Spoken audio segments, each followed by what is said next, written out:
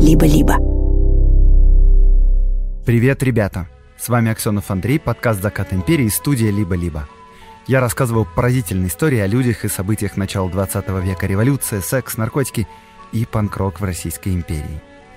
Этот сезон мы делаем при поддержке партнера, платформы по выполнению заказов такси Яндекс.Про. В середине выпуска вы услышите нашу рубрику о том, как развивался рынок извоза и такси до революции и о том, как его принимали тогдашние жители.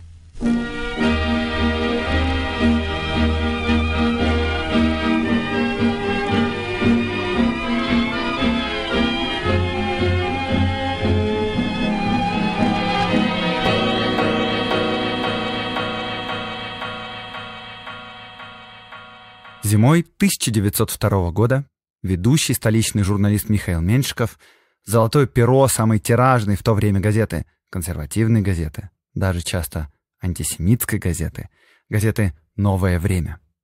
Так вот, журналист Михаил Меньшиков получил несколько писем от одной своей читательницы. Она умоляла его приехать к ней в гости, поскольку имеет документы невероятной важности не только для России, но и для всего мира. Меньшиков приехал. Квартира была хорошо обставлена, дама была одета элегантно и начала беседу примерно от сотворения мира, рассказывая о каком-то великом древнем заговоре, э, причем рассказывала с такой живостью, как будто сама была свидетельницей этого заговора. Все это происходило буквально вчера на ее глазах. Михаил Меньшиков решил ограничить даму во времени и попросил перейти к делу. Журналисту с торжественностью был вручен фолиант, в котором содержалась суть этого заговора. Заговор был составлен еще при царе Соломоне, и в фолианте этом содержались протоколы заговора. Подробнейший план порабощения человечества евреями путем захвата всего капитала с одной стороны и пропаганды либерализма, глобализма и коммунизма с другой. Конец этому миру уже близко, но, по счастью, план раскрыт. Одному французскому журналисту удалось выкрасть протоколы, и теперь необходимо их срочно обнародовать. Конечно, через газету «Новое время». Михаил Меньшиков э, так вспоминал об этом событии. «Я был так невежлив, что и здесь выразил свои сомнения. Помимо репутации Соломона как умного человека, помимо крайней рискованности поручить выполнение столь хитрого плана, Бог весь скольким поколениям суетливой, нервной, легкомысленной расы, подлинность протоколов выдает их стиль.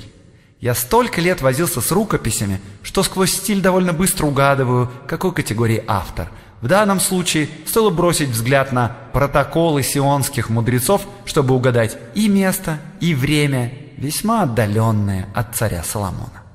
Мало того, чуть позже, в апреле 1902 года, Меньшиков в «Новом времени» еще и опубликовал довольно едкую заметку о попытке протащить через него очередную безумную теорию заговора. Меньшиков был антисемитом и евреев не любил, но совершенно не верил в заговоры, приводя по этому случаю в пример комаров. С одной стороны, они, конечно, действуют в планетарных масштабах и довольно согласованно, но вообще-то сложно представить, что за этим стоит какой-то комариный заговор. И именно с той самой саркастической заметки Меньшикова началась публичная история протоколов сионских мудрецов. Это знаменитая фальшивка. Книга, которая лежит в основе теории мирового еврейского заговора. Ей впечатлялись в разное время и Черчилль, и Генри Форд, ну и Гитлер, конечно, куда уж без него – Протоколы сионских мудрецов в нацистской Германии были одним из доказательств необходимости борьбы с евреями. В общем, это одна из самых знаменитых фальшивок в истории человечества и одна из наиболее повлиявших на мир. До сих пор сотни тысяч людей, не шутка, верят в подлинность этой книги. Но создана она была не в древности, а на рубеже XIX и XX веков русскими, причем почти наверняка связанными с российскими спецслужбами. И, на мой взгляд, самое интересное в этой всей истории даже не то, кто именно написал эту книгу, а для чего.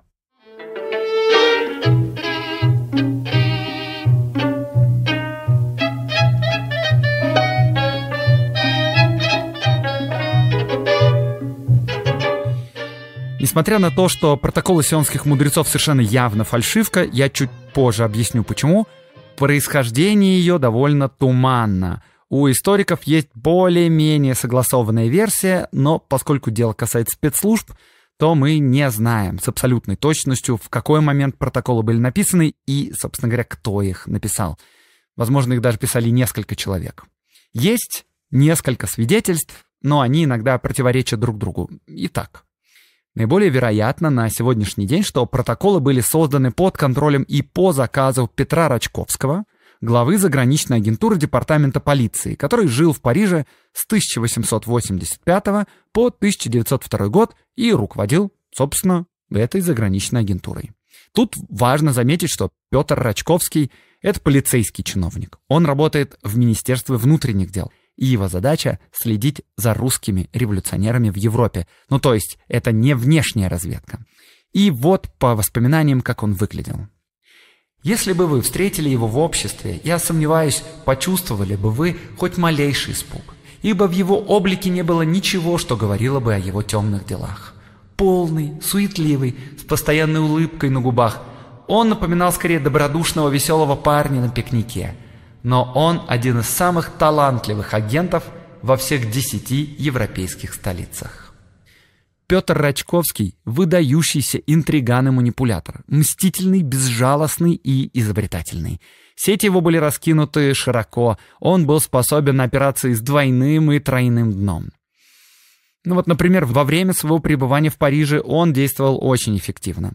Главными врагами тогда были народовольцы. И в 86 и 87 году Рачковский дважды организовывал нападение на типографию народной воли в Женеве и в ходе этих нападений было уничтожено несколько тысяч экземпляров разных брошюр и журналов, и испорчены типографские литеры были, но оцените, Рачковский после этого еще и пустил слух, что типографию разгромили не агенты полиции, а конкуренты народовольцев, русские социал-демократы под руководством Георгия Плеханова. Неплохо, Петр Иванович. Рачковский умел стравливать людей друг с другом. За время своей работы он выпустил в революционную среду целый ряд подложных писем и воззваний. В одном из них якобы старый революционер убеждал молодежь, что она попала в руки опытных и сообразительных проходимцев, цитата была только что, и уговаривал бросить революционное шарлатанство, а также писал, что Социалисты-революционеры поступили на службу к англичанам и как политические шпионы иностранного правительства делают все, чтобы удовлетворить хищным побуждениям коварного Альбиона. В другом письме от имени другого заслуженного оппозиционера было написано, что письмо это вызовет злобу в так называемых вожаках эмиграции, ну, потому что, очевидно, раскроют правду об их темных делишках. Под вожаком тут имелся в виду в первую очередь Лев Тихомиров, издатель «Вестника народной воли». А когда в 1888 году сам Тихомиров отрекся от революции, то Рачковский с большим удовольствием распространял уже не подложное, а самое настоящее письмо самого Льва Тихомирова «Почему я перестал быть революционером?». Еще одно фейковое письмо было вообще составлено от имени Георгия Плеханова, и в нем мнимый Плеханов наезжает на народовольцев и пишет, что он отказывается от революционной борьбы после многих лет беспрерывной лжи и всего, что выдается у нас таким упорным меднолобием за революционное движение. Короче, это я к чему? Петр Рачковский был профессионалом в манипуляциях и в составлении фальшивых памфлетов. Но, конечно, письмо старого революционера и довольно толстая книга из 25 протоколов — это немного разные вещи. И протоколы эти писал уже не сам Рачковский.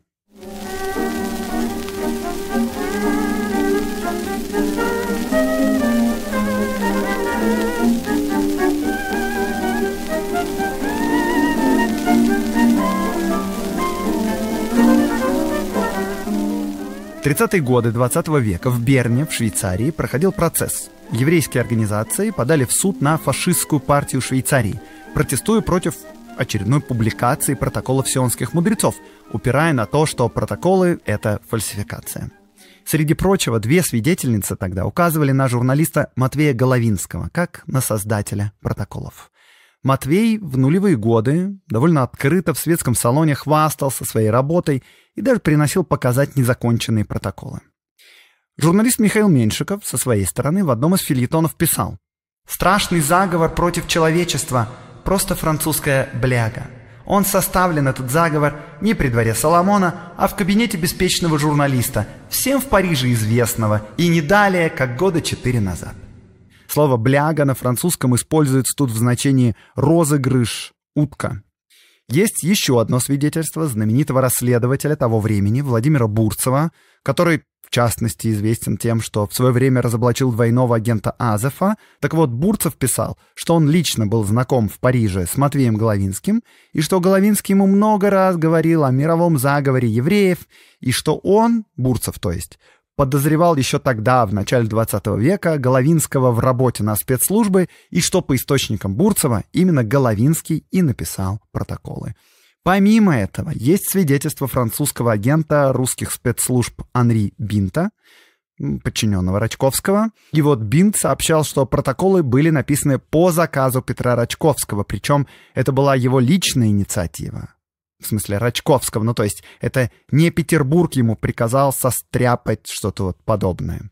И тот же Бинт говорил еще, что автором протоколов был тоже Матвей Головинский. Если честно, то вот агенту спецслужб я бы доверял в последнюю очередь. Ну и вообще-то тут есть нестыковки. Дело в том, что Головинский приехал в Париж только в 1902 году. И никак не мог показывать недописанные протоколы в парижских салонах, потому что готовый экземпляр протоколов уже был в Петербурге зимой с 1901 на 1902 год. История действительно темная, но помните, что мы имеем дело со спецслужбами, а Рачковский вообще профессионал в игре с двойным и тройным дном. То есть, возможно, протоколы писал вообще не Головинский. Есть ниточки, которые ведут к другому агенту Рачковского, к Леону Гольшману. Возможно, Головинский писал их не один, а вместе с Гольшманом. Возможно, что он писал их еще будучи в Петербурге, то есть до Парижа. И да, я просто напоминаю, что на сегодняшний день это пока что самая убедительная, но не единственная версия о создании протоколов. А, тут вы меня еще, возможно, спросите, ну хорошо, с Головинским мы поняли, там все как-то зыбко, но есть свидетельства. А вот как насчет начальника заграничной агентуры Рачковского? Где доказательства, собственно, его участия? И да, доказательств его участия совсем мало, и они по большей части косвенные. Есть вероятность, что Рачковский вообще ни при чем, но тут скорее дело в том, что слишком много ниточек вокруг создания протоколов и их публикаций тянутся именно к нему. Но, как мы помним, он шпион, и шпион хороший, так что прямых свидетельств нет, ну вот за исключением свидетельства Анри Бинта. Но, с другой стороны, это все действительно очень похоже на его почерк. Да, это аргумент так себе, но главное на самом деле тут вот что. Протоколы, кем бы они ни были написаны, точно фальсификация, и вот почему. Потому что, ну, помимо простого здравого смысла, в начале 20-х годов 20 -го века выяснилось, что треть этих протоколов — это плагиат с другой книги, с более ранней, а именно с памфлета, который называется «Диалог в аду» между Монтескио и Макиавелли. То есть Головинский или другой автор протоколов взял этот вот диалог из ада и частично его зарерайтил, а частично просто переписал, дополнив своим текстом. При этом авторство диалога в аду между Монтескио и Макиавелли известно — его написал во второй половине XIX века французский адвокат Марис Жоли. Против императора Наполеона III был этот памфлет направлен, и в нем, значит, Макиавелли отстаивал либерализм, а Монтескио цинично так говорил о преимуществах диктатур. Так вот, протоколы сионских мудрецов с 1 по 19 практически соответствуют диалогам из ада между Макиавелли и Монтескио, от 1 до 17. Протокол номер 18 составлен из частей диалогов номер 17 и 25. Помимо всего этого в протоколах еще много мелких заимствований из вот этих вот диалогов из ада. Понятно, да, что случайно так совпасть могло только в рамках теоремы о бесконечных обезьянах. Короче, автор или авторы протоколов сионских мудрецов на самом деле сильно не парились. А, давайте, наконец, почитаем эти протоколы, о чем там вообще идет речь. Ну, то есть, да, помимо того, что всем миром управляют евреи по плану, разработанному при царе Соломоне. Но сделаем это мы после небольшой паузы.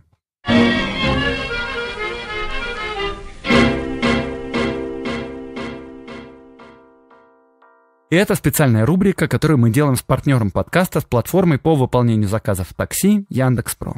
И в ней мы делимся историями о том, как развивался рынок извоза и такси до революции, и о том, как его принимали тогдашние жители.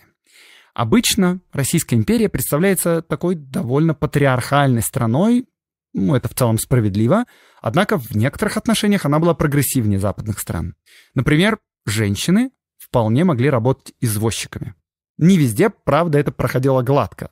В крупных городах, например, в Петербурге и Москве, власти старались больше контролировать общество, и первые женщины-извозчицы прямо удостаивались заметок в газетах. Например, в 1908 году широко разошлась новость о крестьянке Марии Ивановой, которая после смерти мужа стала работать извозчиком в столице, но при этом одевалась как мужчина, чтобы не привлекать внимания. С другой стороны, в провинции к этому явно относились спокойнее. Например, в тамбовских газетах еще в конце XIX века было множество сообщений о женщинах, которые занимались извозом, и никого это не удивляло. А вот таксистками в Российской империи женщины поработать не успели. Первые в стране права получили в Петербурге три женщины в 1910 году, но извозом они не занимались, просто ездили на собственных автомобилях. Вот Петроградская газета в 2012 году берет интервью у одной из первых автомобилисток по фамилии Шумер. Нахожу своеобразное удовольствие в управлении автомобилем. Особенно физической силы не требуется, но умение, находчивость и расторопность необходимы. Езжу на машине «Апель» и «Шульц». Шофером на автомобиле я езжу очень часто, тогда надеваю специальное длинное пальто. А благодаря платформе Яндекс.Про водителем-партнером может стать любой человек старше 18 лет, имеющий водительское удостоверение. Работать водителем такси сейчас может любой, и это давно не новость. Если вы ищете подходящий формат работы и у вас есть водительские права, получайте достойный доход и работайте в такси в удобное время вместе с приложением Яндекс.Про. Чтобы присоединиться, можно перейти по ссылке в описании эпизода или позвонить по номеру 1002.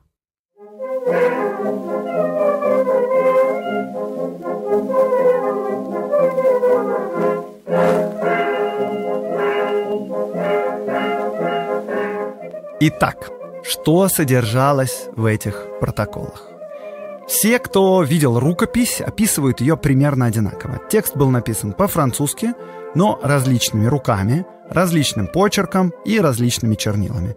Бумага была пожелтевшей. На первой странице было видно большое чернильное пятно, которое, судя по всему, пытались свести, так как оно было таким, ну, как бы светло-фиолетовым. Причем было видно, что текст был написан не французом, а иностранцем.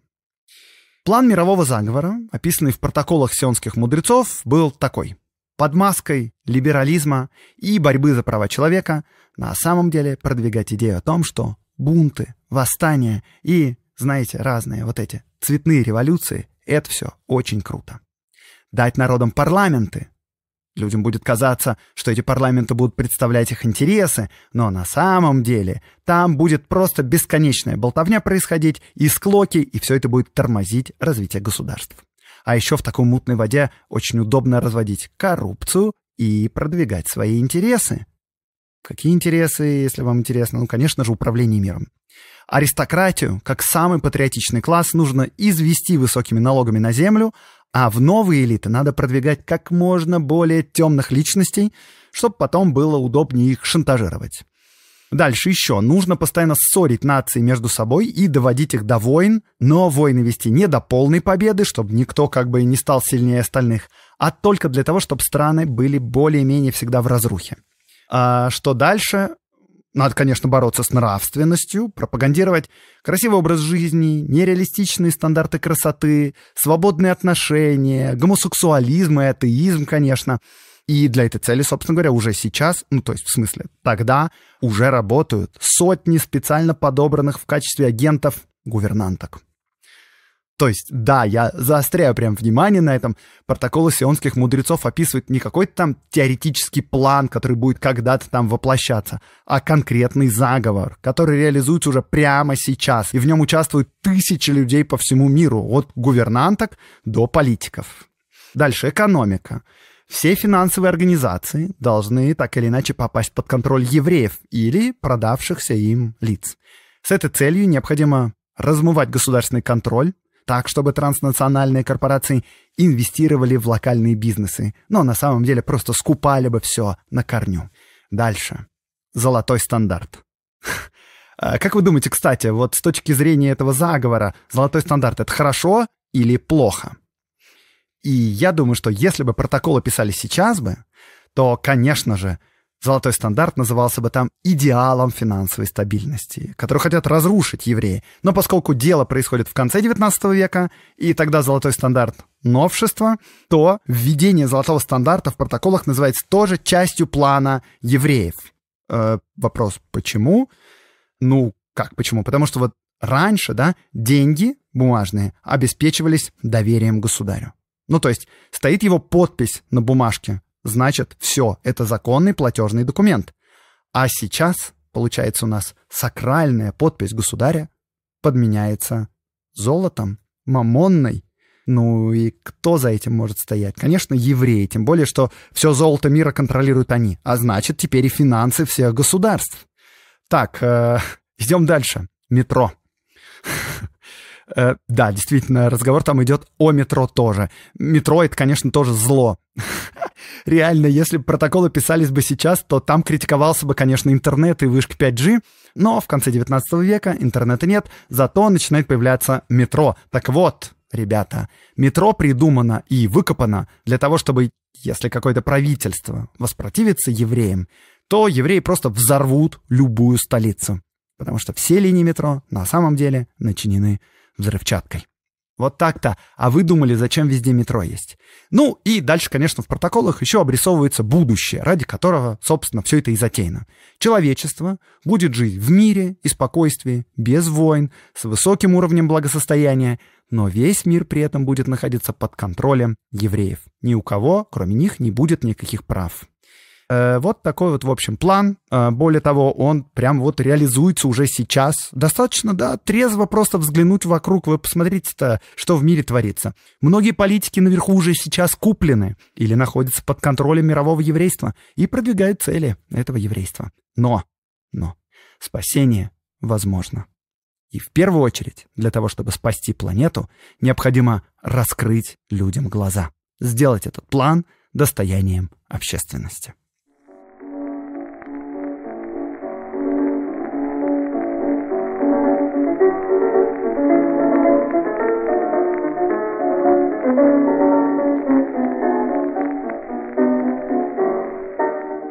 И вот борцы с мировым еврейским заговором почему-то решили осчастливить общественность именно в России. Протоколы всплыли не в Лондоне, не в Нью-Йорке и не в Париже, хотя были написаны по-французски, а в Санкт-Петербурге. Ну, видимо, потому что Россия — это духовная страна и дольше прочих сопротивляется заговору. Вот, значит, начинается кампания по опубличиванию протоколов, и сразу же заканчивается, потому что никто протоколы печатать не хочет. Главные надежды были похожи на «Новое время», на самую популярную газету тогда, причем известную своим антисемитизмом, но ведущий журналист этой газеты не только сразу же распознал фальшивку и отказался давать ей ход, больше того, он опубликовал об этих протоколах издевательский очерк. И после этого, если там кто-то и думал напечатать новость о протоколах, то его бы тоже подняли на смех. Вообще ни одна газета не взялась за эту новость. В России было достаточное количество уважаемых консервативных газет. «Московские ведомости», «Киевлянин», «Русский вестник». Ни в одной из них нет никаких упоминаний о сенсационном разоблачении мирового заговора евреев. Э, если наш повелитель шпионов Петр Рачковский и пытался протолкнуть свое поделие в прессу, то ему это не удалось. Ну, а печатать новость в какой-нибудь заштатной желтой газетенке не имел, конечно, никакого смысла, потому что там каждую неделю разоблачают заговоры, то англичан, то инопланетян, и долгая работа пойдет вся на смарку. Надо было искать какого-нибудь лидера общественного мнения, который загорится прям протоколами, но найти никого не удавалось. А чуть позже, в том же 1902 году, Петр Рачковский вписался в интригу, которая стоила ему должности. Тогда происходила знаменитая история с медиумом Низие Филиппом, да, тем самым, если вы помните, который помогал императрице родить наследника. С помощью духовных сил, конечно, помогал. Эту эпичную историю я рассказывал еще в первом сезоне. Выпуск называется «Выдающийся гипнотизер». Так вот, Петр Рачковский вписался в интригу против Низье Филиппа. Он прислал из Парижа досье на этого выдающегося гипнотизера, и в этом досье вполне откровенно называл его шарлатаном. Низье Филипп нанес ответный удар. Связался с высшими силами, и те передали, что небо определенно требует отставки Рачковского. Ну, на самом деле, я думаю, что Рачковского уволили не из-за Низье. Дело в том, что Рачковский вообще довольно активно интриговал против Министерства иностранных дел и против Министерства финансов. Ну, потому что, как минимум, все эти министерства имели своих агентов за границей и часто конкурировали друг с другом. Ситуация с Низье удачно совпала по времени с назначением нового министра внутренних дел Вячеслава фон Плеве и нового директора департамента полиции либерала Алексея Лопухина, а также все это совпало с атаками на Рачковского из Министерства финансов и с атаками Рачковского на Министерство финансов, а также непосредственно с атаками на министра финансов Сергея Юльевича Витта. В общем, как бы то ни было, Рачковского в 1902 году сняли с должности главы заграничной агентуры и вернули в Петербург. Но Рачковский сдаваться не собирался и ждал момента, чтобы вернуться наверх. И будьте уверены, всех своих врагов он помнил поименно. Но сейчас для нас важно, что Рачковский пока что не удел, и если он как-то и планировал использовать протоколы, то его план не сработал.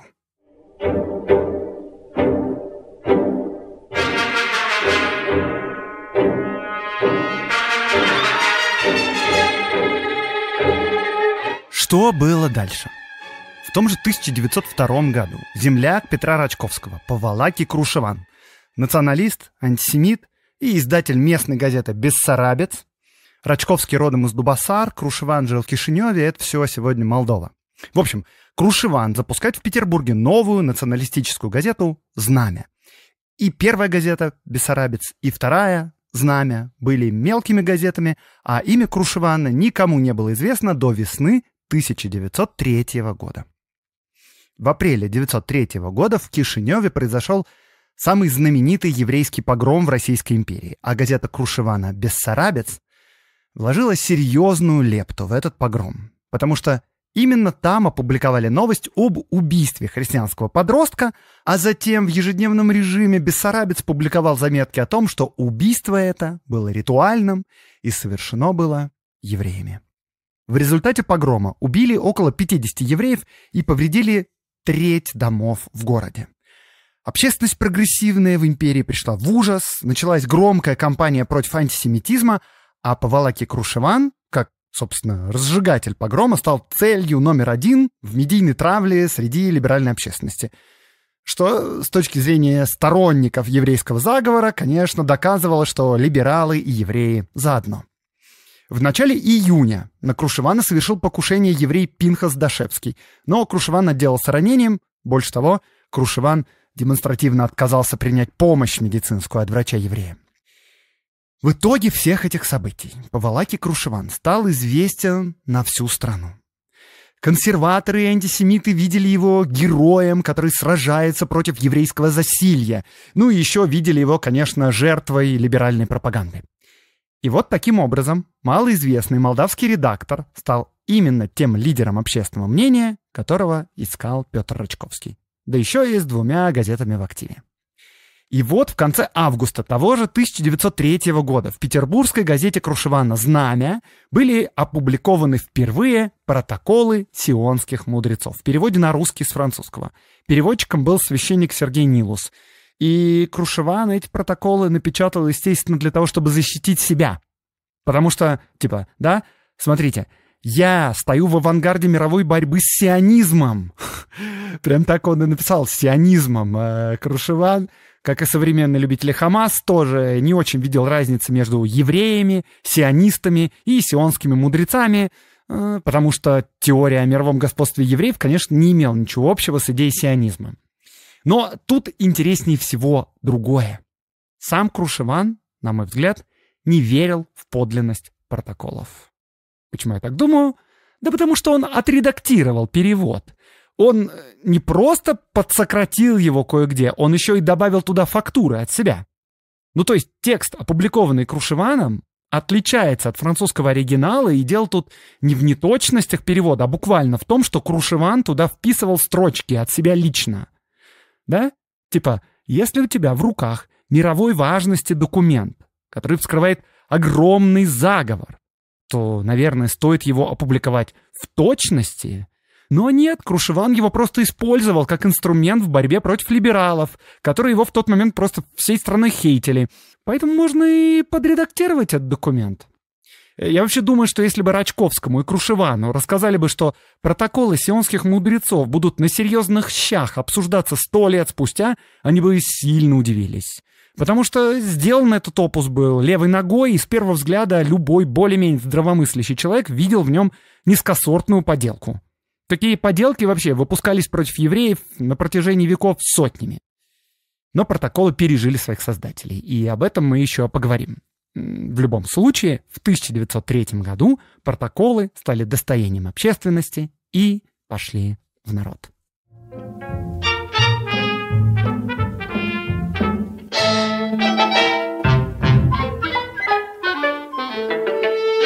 В народе, правда, они распространялись медленно. Всерьез их, кажется, так никто и не воспринял.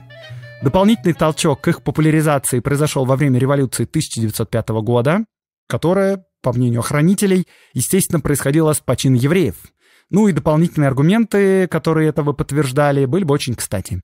И вот публичный доклад о всемирном еврейском заговоре прочитали в организации «Русское собрание» в мае 1904 года – и после этого автор доклада опубликовал протоколы в журнале «Мирный труд» в 1905 году. Это вторая публикация протоколов сионских мудрецов.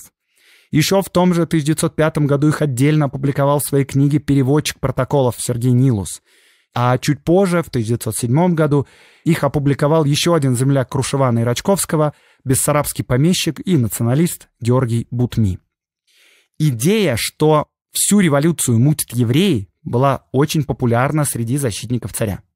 Но протоколы публиковались, э, прямо скажем, ну, не самыми известными людьми и не в самых уважаемых газетах. Скорее, наоборот. Ну, то есть, даже вот в это вот самое горячее время приличные, консервативные и националистические газеты полностью игнорировали протоколы сионских мудрецов.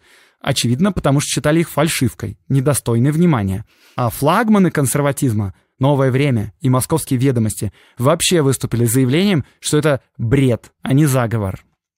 А еще именно в 1905 году Петр Рачковский снова появился на административном небосклоне.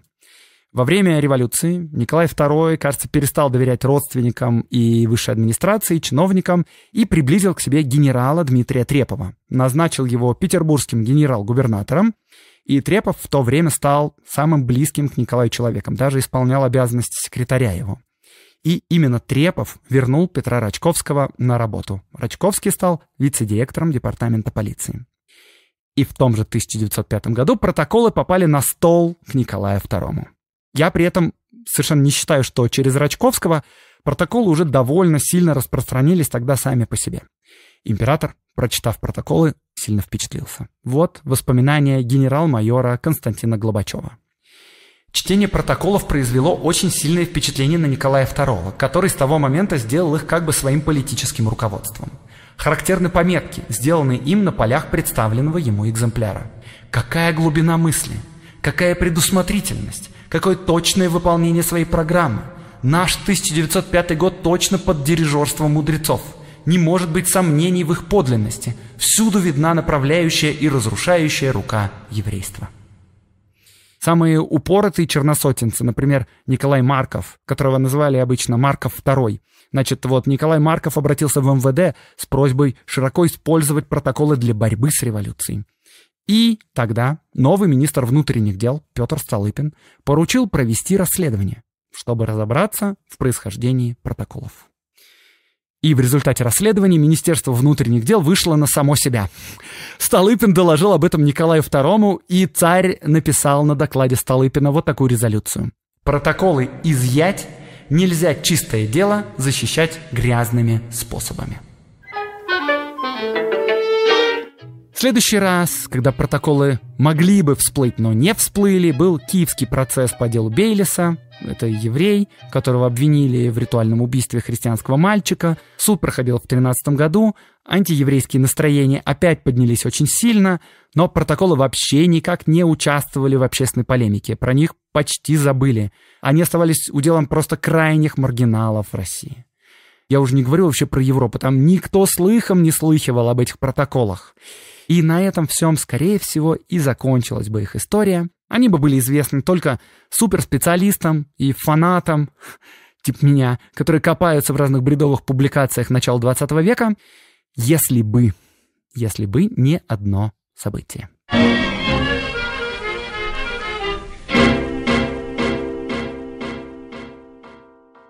Событие, которое дало протоколам мировую известность, это, конечно, революция 1917 года. Э, дальнейшая история протоколов, в общем-то, выходит за пределы подкаста «Закат империи», так что сейчас будет такой небольшой экскурс в дальнейшую историю протоколов. И, откровенно говоря, я такие штуки обычно рассказываю в послекастах, но сейчас мне это кажется важным для нашей истории, поэтому расскажу здесь, в основном выпуске. Но к чему это я веду? Подписывайтесь, пожалуйста, на мой Boosty и Patreon, а также на закрытый телеграм-канал «Либо-либо» и оформляйте подписку «Либо-либо плюс» в Apple подкастах. Потому что во всех этих местах есть послекасты каждому выпуску. И к этому, конечно, тоже будет отдельный про то, как Петр Рачковский подкладывал бомбу в собор, в котором должен был присутствовать Николай II. Для чего? Для того, чтобы, конечно, самому эту бомбу найти и стать спасителем государя. Вот такого рода истории в послекастах бывают. А еще в закрытом телеграм-канале и на Apple подкастах у вас будет доступ к бонусам от других подкастов нашей студии и к одному эксклюзивному подкасту, который рассказывает, как устроена у нас работа. А на Патреоне и на Boosty есть уже лично от меня разные истории текстом и отдельно эксклюзивный разговорный исторический подкаст «Братислава», который мы делаем вместе с моим братом. Мы там рассказываем друг другу и вам разные увлекательные истории из прошлого и обсуждаем их. Подписывайтесь, пожалуйста. Подписка — это лучший способ нас поддержать. Все ссылки в описании этого выпуска.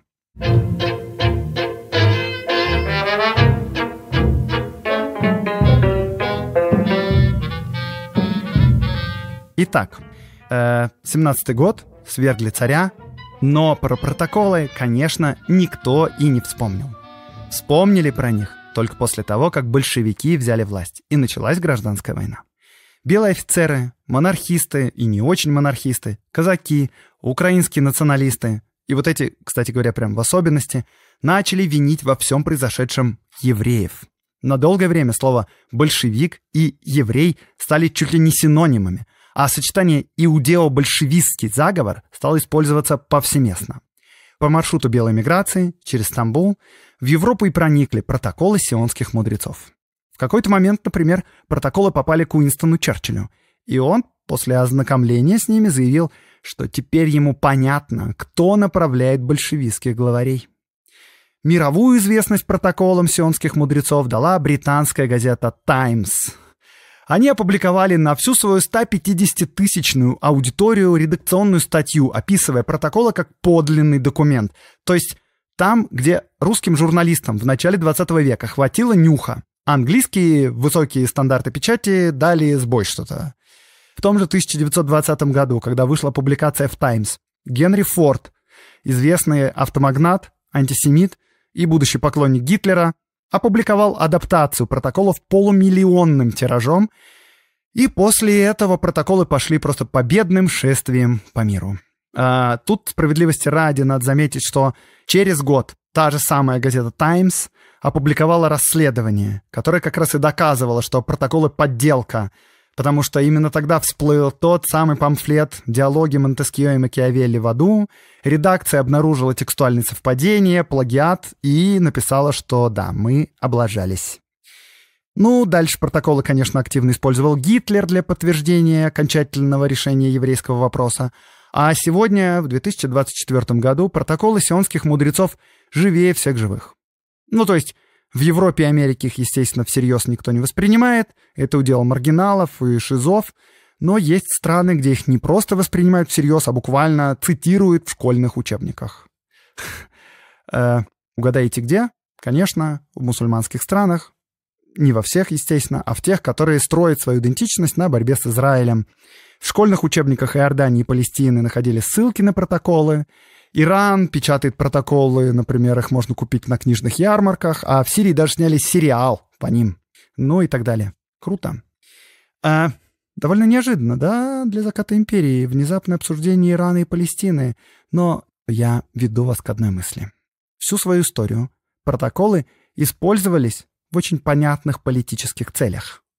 Протоколы сионских мудрецов — это не какое-то значительное мировое открытие, которое люди в мире обсуждают в гостиных между кофе. Нет. Протоколы поднимают голову только в определенное время и в определенных регионах, и их используют политики в своих довольно конкретных целях. В Палестине, потому что борется с Израилем. Гитлер, понятно почему. Черчилль и The Times тоже очень понятно почему. Потому что в 1920 году шел самый разгар гражданской войны, и правительству Великобритании нужно было очень хорошо объяснить своим подданным, зачем это после разрушительной Первой мировой войны Британии нужно лезть еще и в гражданскую войну в далекой России. Черчилль был активным сторонником интервенции в Советскую Россию. И поэтому миф об иудео-большевистском мировом заговоре был очень кстати, потому что, типа, ребят, мы боремся не с Лениным и не с Троцким, а с общим мировым врагом, который стоит у нас на пороге. Ну, белые в гражданскую тоже ясно, зачем использовали этот документ. Черносотенцы в 1905 году тоже понятно зачем. Надо бороться с революцией, все средства хороши. Даже в 1903 году, когда Крушеван их опубликовал, он использовал протоколы со вполне понятной целью, как аргумент в свою пользу в ходе медиаскандала вокруг Кишиневского погрома. И вот тут я вас подвожу к самому интересному вопросу. А зачем Рачковскому нужно было создавать эти протоколы изначально?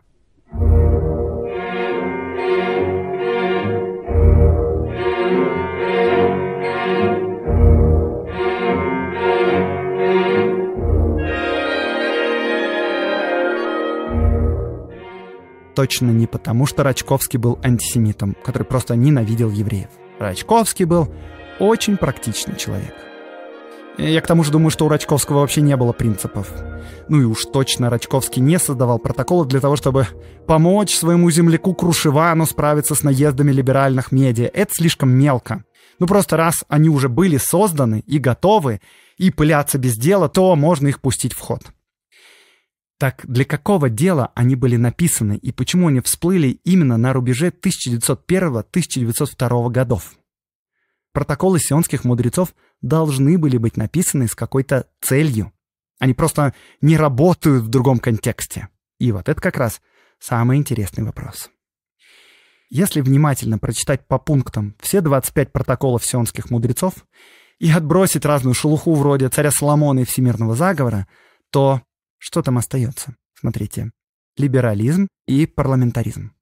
Иностранные инвестиции, золотой стандарт, метро. Ну, в общем, разные признаки прогрессивного государства и общества. Тут можно решить, что создатели протоколов просто были консерваторами и противниками прогресса. Но, знаете, опять-таки, Петр Рачковский не сказать, что такой уж большой борец с прогрессом. Его идеология и будущее волновало, мне кажется, мало. Он был человек практичный. И опять-таки, я замечаю, что протоколы не работают просто так. Они появляются на политической сцене ради какой-то конкретной борьбы с конкретными врагами.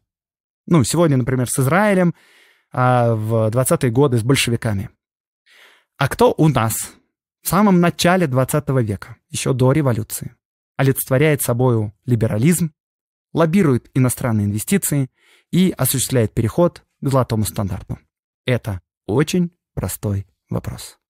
Это Сергей Юльевич Витте, могущественный министр финансов, который, кстати, был женат на еврейке. А Министерство внутренних дел, в котором служил Петр Рачковский, силовики, были прямо органическими противниками либералов из Минфина. Витте был финансист, он пришел в правительство из крупного бизнеса, из железнодорожного, что было вообще-то выдающимся исключением в царской бюрократии. Бюрократия царская в основном состояла из аристократии. Витте был сторонником европейского пути развития. Конечно, он был монархист и консерватор, но для тогдашних приближенных царя он прям-таки олицетворял собою либерала. Он был сторонником активной торговли с Западом. Это именно он, Витте, провел в России очень сложную и требующую много ресурсов реформу рубля. При нем рубль из необеспеченной валюты стал полностью обеспечен золотом. И после этого в Россию потекли иностранные инвестиции, потому что ради этого, собственно говоря, и была задумана реформа золотым рублем. И даже метро было связано с Витте. Дело в том, что в 1893 году инженер Петр Болинский представил проект петербургского метро и попросил на него 190 миллионов рублей. И Витте был активным лоббистом этого проекта. Так вот, в начале века против Витте, который держал в руках все финансы страны и фактически поставил министрами своих людей. Против Витте сплотилась довольно широкая коалиция из великих князей, чиновников средней руки, членов Государственного совета, гвардейских офицеров и, конечно же, силовиков. Слишком многое стал себе позволять наш Сергей Юльевич.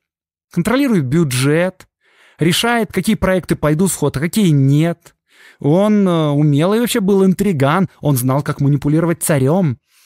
Но, впрочем, в начале века Витте изрядно достал уже и императора Николая II, и тот сам искал возможности избавиться от назойливой опеки министра финансов своего. А у Рачковского еще и были свои личные счеты с Витте, потому что за рубежом Рачковский конкурировал с агентами Министерства финансов – э, я не буду тут и вам не рекомендую уподобляться фанатам протоколов сионских мудрецов. Не надо искать заговора там, где его нет. Просто Сергей Юльевич слишком многим перешел дорогу, и слишком многие предпринимали разнообразные усилия, чтобы столкнуть Витте с поста министра финансов. Я, конечно, не думаю, что Рачковский всерьез рассчитывал в этом смысле на протоколы сионских мудрецов. Я думаю, это был просто такой очередной болевой приемчик. Очень в стиле Рачковского. Я же вам рассказывал, да, как он подделывал письма и воззвания, писал их якобы от имени революционеров. Я думаю, да, на протокол он особенно не рассчитывал. Ну, выйдет, окей. Не выйдет, не страшно. Ну, просто будет еще одна крупинка на весах против Витте. Царь-то у нас, да, впечатлительный. Э, как вы уже знаете, царь реально впечатлился, но немного позже. К сожалению, Рачковского ему тогда не удалось провернуть эту аферу, потому что в 1902 году его самого лишили должности за интриганство. Не за протоколы сионских мудрецов, конечно же. Рачковский к этому моменту боролся с Витте более прямолинейно. Например, тогда назначили нового министра внутренних дел Вячеслава фон Плеве, и он направил своему новому начальству записку вот с такими вот словами. Витте, осторожно прикрываясь маской искреннего монархиста и консерватора, искусную рукой поддерживает революционное брожение в школе, среди фабричного и сельского населения и так далее, в то же время стараясь разжигать неудовольствие и среди мирных, имущих классов населения. И там дальше еще куча замечательных абзацев про чистолюбца и авантюриста Витте, который разбрасывает государственные деньги на сомнительные предприятия, типа фабричных школ для пролетариата, и через свои казенные винные лавки, профессиональные училища и школы готовит в стране революцию. Эм, ну, господин Рачковский, вы зря рассчитывали вообще-то взять нового министра Вячеслава фон Плеве в союзники. Рачковский был уволен через несколько месяцев после подачи этой записки. Но, впрочем, Витте это тоже не помогло, потому что в следующем, 1903 году, уже он от императора получил отставку с поста министра финансов. Так что план Рачковского все же сработал, хотя протоколы никак в этом и не поучаствовали. Но это был только первый раунд, потому что и Рачковский, и Витте триумфально вернулись назад в большую политику в 1905 году. Рачковский как вице-директор департамента полиции по протекции Трепова, а Витте у нас попал прямиком в кресло премьер-министра по итогам манифеста 17 октября. И в этот момент старые враги опять скопом объединились вокруг Сергея Юльевича чего только про него не писали. Вплоть до того, что он собирается сместить царя и сам стать диктатором. Вот, например, какие речи толкал полоумный черносотенец доктор Дубровин на митингах в 1906 году. «Витте ставленник иудеев, вождь их. Они писали за него сочинение, чтобы выдвинуть его. Добившись власти, Витте всячески стал содействовать Крамоле. Это он виновник нашей заграничной задолженности иудейским банкирам. Это он построил маньчжурскую железнодорожную линию, дальний, вызвав тем японскую войну. Это он заключил позорный мир, когда мы могли уже победить. Это он делал все, чтобы поселить крамолу в рабочей среде, выдвинул Гапона, Ушакова и прочих, а потом приказал стрелять. Во всем виноват Витте. Э, вы вряд ли запомнили, но я говорил, что четвертую публикацию протоколов сделал некий бессарабский помещик Георгий Бутми. Так вот, Бутми, в числе прочего, был не просто националистом, не просто антисемитом, не просто противником политических реформ Витте. Он был членом целого политэкономического кружка. Они в этом кружке защищали интересы потомственных землевладельцев. А Витте был сторонником бизнеса. Этот кружок был против инвестиций в Россию, а Вита, наоборот, лоббировал инвестиции и делал все, чтобы их было больше. Наконец, члены этого кружка были активными противниками введения золотого стандарта.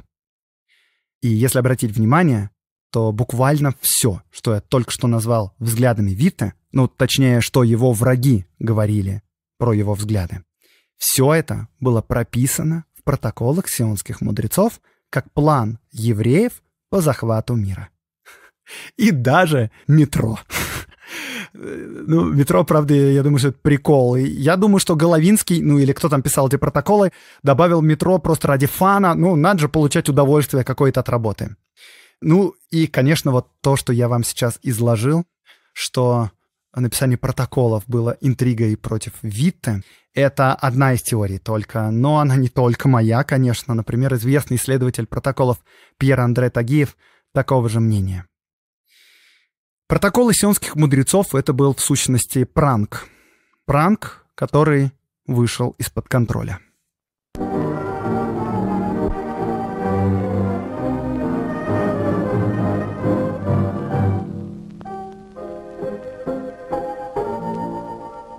С вами был Аксенов Андрей, подкаст «Закат империи» студия «Либо-либо». Этот выпуск для вас готовили фактчекерка Ксюша Абросимова, редактор Катерина Серебренникова — над звуком работал Семен Аксенов, партнерствами занималась Анна Орланцева. Пожалуйста, ставьте отметочки, звездочки и отзывы на этот подкаст в Apple подкастах, в Spotify и вообще где только можно. До следующей недели.